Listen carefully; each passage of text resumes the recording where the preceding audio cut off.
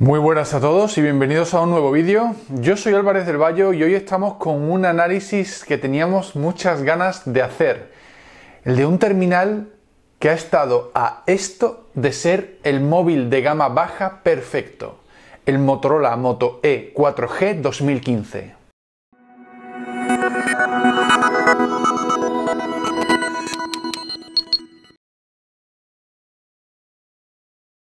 Motorola ha presentado recientemente el Motorola Moto E 4G 2015, un dispositivo claramente enfocado a la gama baja. El precio, 129 euros de partida, irá bajando a lo largo del tiempo como es normal, hace un poco caro este dispositivo si lo comparamos con su antecesor que costaba 119 euros. No obstante, las mejoras que se han añadido merecen la pena. Empezamos por la estética. Este smartphone tiene una pantalla bastante contenida de 4,5 pulgadas, de la que hablaremos a continuación, una estética muy rugosa que lo hace resistente en la línea del Motorola Moto G, tanto del año pasado como del anterior. Dispone de dos botones en el lateral de encendido y de volumen y curiosamente el de encendido tiene un tacto rugoso que lo diferencia del de volumen, lo cual se agradece cuando lo tenemos a lo mejor en la mano y no queremos mirar para encender el botón. Hay veces que hemos pulsado el botón de volumen pensando que era el de encendido, ya que lo tenemos en el mismo lado.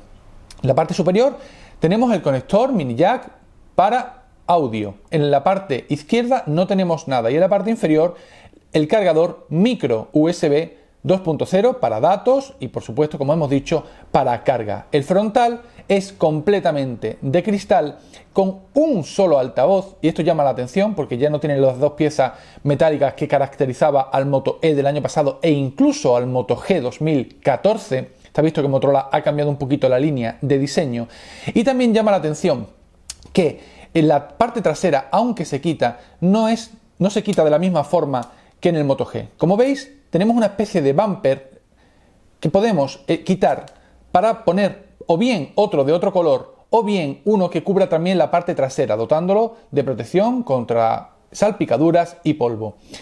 cuando quitamos esa parte, vemos que en los laterales tenemos los huecos para ranuras de tarjeta, evidentemente de teléfono y SIM. Ojo, porque este Moto E no es Dual SIM. Esta es una de las principales diferencias con el Motorola Moto G 2014.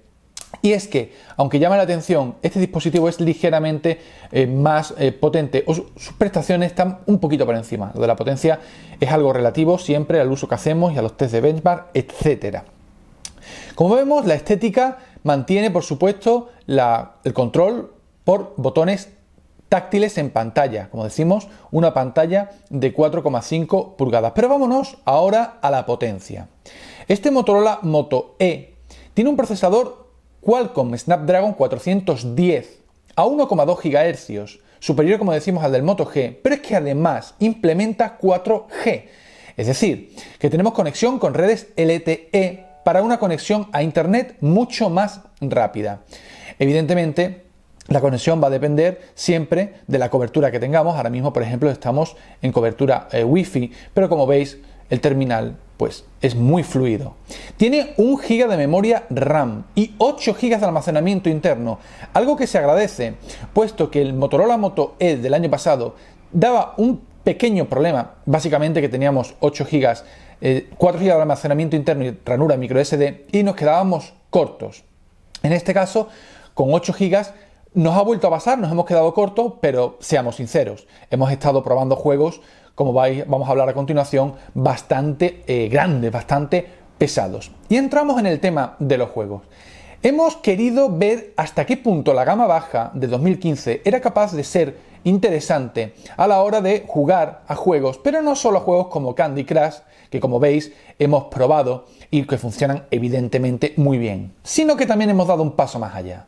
Hemos instalado dos juegos a los que somos bastante aficionados, pero no, en este caso no hablamos de Alphal, vamos a cambiar un poco. Hemos probado Marvel, Batalla de Superhéroes, un juego de acción con unos gráficos bastante buenos y que como veis mueve con soltura. Además, hemos probado Real Racing 3, un juego que, aunque es capaz de adaptarse a diferentes procesadores, vemos que en el Motorola Moto E es capaz de dar una eh, funcionalidad, una usabilidad más que decente. Es decir, estamos ante un móvil de gama baja con el que podemos jugar a juegos bastante avanzados. No vamos a pedir, evidentemente, unos efectos de luces a máxima potencia, etcétera. Pero podemos jugar, no es solo a palabrados preguntados y juegos por el estilo. No, también podemos jugar a juegos bastante más eh, potentes gráficamente. Pasamos a la pantalla. Este móvil tiene una pantalla de 4,5 pulgadas, ha pasado de las 4,3 del Motorola Moto E del año pasado a las 4,5, pero no sube la resolución. Esta resolución, como decimos, 960 por 540 píxeles, QHD, Q minúscula, no confundámoslo por supuesto con la Q mayúscula HD que son 2540 por 2560 por 1440. ¿Y cómo se comporta la pantalla? Pues bueno, la verdad es que se comporta bien a la luz del sol, no hemos tenido problemas, como veis el brillo es suficiente, pero también es verdad que hemos analizado bastante a fondo el terminal, lo hemos probado con gente a la que iría destinado, porque siempre lo decimos, nos encantan los móviles de gama media y gama baja, somos realistas, mucha gente los compra, pero a lo mejor el perfil del usuario más avanzado no es el suyo. Bien, se lo hemos dejado a personas que utilizan este tipo de terminales y nos han dicho que les ha gustado mucho, sobre todo el tamaño, contenido de la pantalla, pero que la resolución, ay, era un poco escasa. Y es que es verdad. Si nos hubiéramos ido a la HD 1280x720, Motorola lo hubiera clavado. La verdad es que en ese sentido los colores correctos, a la luz del sol correcto, el juego, el manejo, la sensibilidad más o menos correcto. Pero, como decimos, ha habido ese problema. Pasamos a otro aspecto, hemos tocado el diseño, hemos tocado la potencia, hemos tocado la pantalla y nos vamos a la cámara. Hay Motorola ahí Motorola. Ya sabéis lo que opino de que un móvil no tenga flash LED. Lo comenté en un vídeo expresamente hablando de eso. Lo comento ahora porque el Motorola Moto E 4G 2015 es un gran, gran, gran terminal, un gran smartphone. Motorola lo ha hecho muy bien, pero no le ha puesto flash LED. Yo no lo uso, no voy a echarlo de menos, pero hay mucha gente que lo usa para según qué situaciones. Si queremos hacer una foto, por ejemplo, a un cartel, eh, que queramos saber el dato, es de noche, queremos usarlo como linterna, no tenemos flash LED. Vamos a poneros fotografías, como decimos siempre, en las que vamos a probar cómo se ve esas fotografías de día y de noche. La verdad es que la foto de día no nos ha eh, molestado demasiado. La verdad es que la calidad es aceptable. La interfaz, pues como siempre decimos de Motorola, no nos gusta, es eh, ahora un poquito más serial design o material design, pero como decimos, la interfaz debería cambiarse y la cámara básicamente es testimonial. ¿Que podemos hacer alguna foto estando en la calle de día y que podemos compartirla por WhatsApp, redes sociales? Sí, sin problema. ¿Que la podemos ver en el móvil y que no vamos a tener por ello una em, experiencia mala? También. Eso sí, de noche aunque no cumple de forma eh, espectacularmente mala, no mete mucho ruido y demás para ser lo que es, no es una cámara que nos haya gustado. Y decimos esto porque para el precio que tiene, no podríamos decir que es una cámara horrorosa, pero es que el móvil es tan bueno, es que es tan equilibrado, que nos ha llamado la atención que Motorola haya hecho eso. Incluso tenemos una cámara delantera, vale, es VGA, es 0,3 megapíxeles, pero bueno, podemos tomar selfies y de nuevo con luz, pues ahí está no es algo que nos plantee un problema, pero que no tenga flash en la cámara trasera y aún así la calidad no sea lo suficientemente buena porque no está a la altura del móvil. Este móvil tenemos un eh, sistema de puntuación en faxandroid.com, os dejamos el enlace en la descripción del vídeo. Eh, tiene una nota que se ve penalizada por la cámara. Si a vosotros no os importa, lo diríamos ahora las conclusiones, esta cámara, seguid con el vídeo porque os va a resultar de interés. Nos vamos a la batería. Y es que este smartphone tiene una batería muy grande para el móvil que es. Tiene una pantalla pequeña, una resolución pequeña, una potencia, bueno, no pequeña, pero bueno, en la media, pero tiene una batería de casi 2500 mAh. ¿Cómo es la duración de la misma? Bueno, pues estamos acostumbrados a hablar de un día de autonomía, unas 5 o 6 horas de pantalla en los móviles de gama alta, en los móviles potentes, en los móviles que eh, son caros. Cuando nos bajamos a la gama media o a gama baja, esto empieza a penalizarse.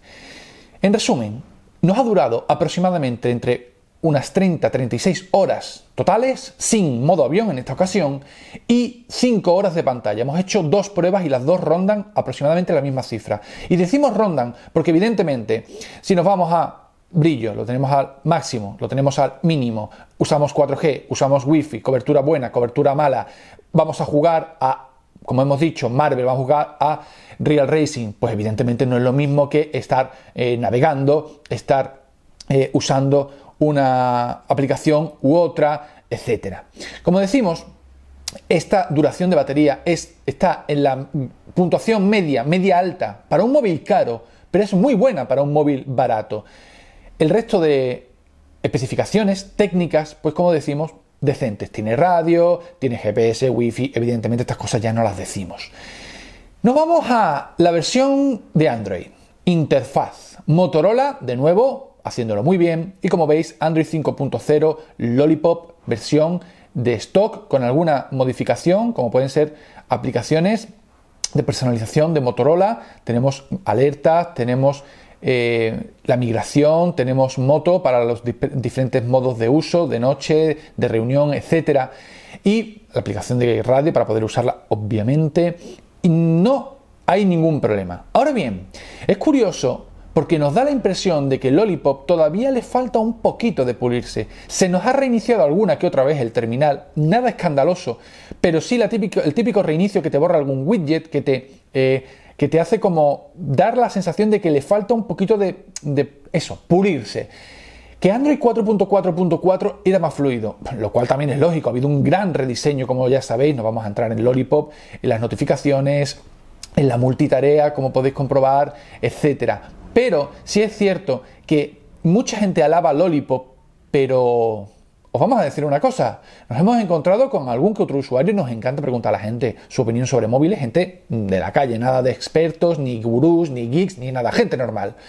Como nosotros, pues, ¿qué opinan? No? Y a mucha gente le gusta más KitKat, pero no por la estética, evidentemente, sino por la estabilidad. También es verdad que esto se pulirá, saldrá Android 5.1, 5.02, etcétera, ¿no? O sea que tampoco es eh, un gran problema. Como decimos, más allá de, la interfaz, no hay una, una acción, eh, una capa por encima. Tenemos, eh, podemos activar Google Now si lo queremos. Tenemos la interfaz Google Experience Launcher, Google Now Launcher, etc. Y incluso tienen algunos aspectos como la pantalla, que cuando lo movemos aparece la notificación del reloj, las notificaciones encima de la pantalla de bloqueo, etcétera. No queremos hacer mucho más pesada, más pesado este análisis, mucho más pesada esta review y vamos a resumir lo que más nos ha gustado y lo que menos, aunque lo haremos también en un vídeo aparte más en detalle.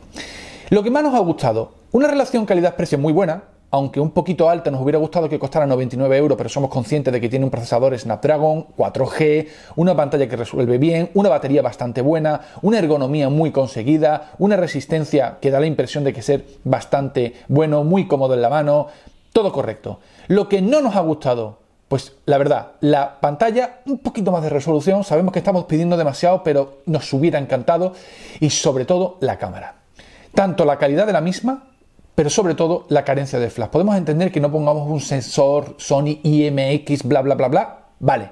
Pero por favor, un pequeño flash LED. No vamos a pediros que lo pongáis delante como hacen marcas como algunos BQ y Energy System, pero por lo menos un pequeño flash LED en la parte trasera. De verdad esperamos que el nuevo Motorola Moto E 2016, que suponemos que saldrá el año que viene, es una especulación, pero si sigue así es una buena idea, lo tenga. Ahora bien, si sois de esas personas que realmente nunca, nunca, nunca, nunca, nunca hacéis fotos con la cámara y que la pantalla la veis y decís, pues está bien, tampoco es para tanta las quejas que tienen de la misma, este es vuestro móvil. ¿Los hay más baratos? Sí. ¿Los hay más pequeños? No. Y esto también es una ventaja. Hay mucha gente que para la cual 5 pulgadas es demasiado. Este móvil es perfecto para esa gente. Yo tengo las manos grandes, a mí 5 pulgadas se me hacen un poquito grande, pero lo puedo controlar. Pero la verdad es que este móvil es muy cómodo y no da la impresión de ser demasiado pequeño, cosa que sí me pasaba con el Motorola Moto E del año anterior, el original. Dejamos aquí la review, no sin invitaros a que le deis al me gusta, si os gusta el vídeo, a que nos dejéis un comentario, la verdad es que últimamente nos estáis dejando muchos comentarios, nos encanta leerlos, como ya sabéis, no podemos responder a todos, algunos sí, pero leerlos los leemos todos, a que os suscribáis al canal, vamos a intentar llegar a los 100.000 lo antes posible. Y por supuesto, tenéis un enlace de compra si os interesa en el vídeo, en la descripción y también la review en texto, en la cual damos muchos más datos. Por ejemplo, los test de benchmark. Ya sabemos que a algunos os interesa y a otros no, pero os doy una pista. En este móvil nos han sorprendido y para bien. No nos alargamos más, esperamos que os haya gustado el vídeo y nos vemos mañana. Un saludo.